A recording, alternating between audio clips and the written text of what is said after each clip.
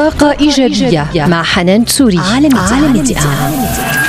في طاقة إيجابية اليوم غادي نركزوا على دراسة جديدة هي الأولى من نوعها اللي كتدرس العلاقة ما بين النظام الغذائي والموت المرتبط بالخرف. بحيث حل العلماء اللي قاموا بهذه الدراسة الاستبيانات الغذائية وسجلات الوفيات لأكثر من 90 ألف أمريكي على مدى 30 سنة توفي خلالها حوالي 5000 مشارك في الدراسة بسبب الخرف.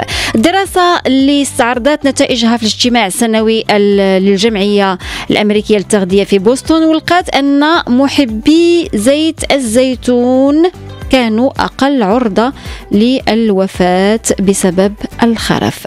وطبعا وفق هذه الدراسة فالناس اللي آه، كيتناولوا أكثر من نصف ملعقة طعام يوميا من زيت الزيتون كانوا أقل عرضة للوفاة بسبب الخرف ب 28% تعليقا على هذه الدراسة قالت مستشارة التغذية في مستشفى سانت لويس كوني ديكمان أنه من المعروف أن أحماض أوميغا 3 الدهنية كتوفر فوائد مضادة للالتهابات وزيت الزيتون هو مصدر جيد جدا لهذا الأحماض. وأضافت أن اتباع نظام غذائي غني بزيت الزيتون يقدر يقلل من خطر الإصابة بالنوبات القلبية والسكتة الدماغية وربما عن طريق المساعدة في تحسين ضغط الدم والكوليسترول ووظيفة الأوعية الدموية.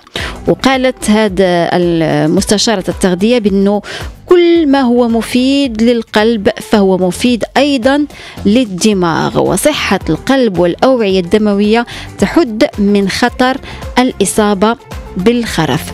والخرف طبعا كيشمل مجموعة من الحالات اللي كتأدي إلى ضعف في التفكير أو الذاكرة.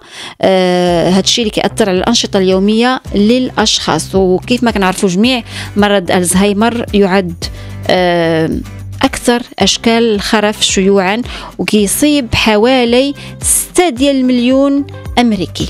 خلاصة الدراسة أنه هاد الدراسة نصحت الناس اللي باغين يحافظوا على الذاكرة ديالهم ويخفضوا من فرص موتهم. بالخرف يتناولوا زيت الزيتون.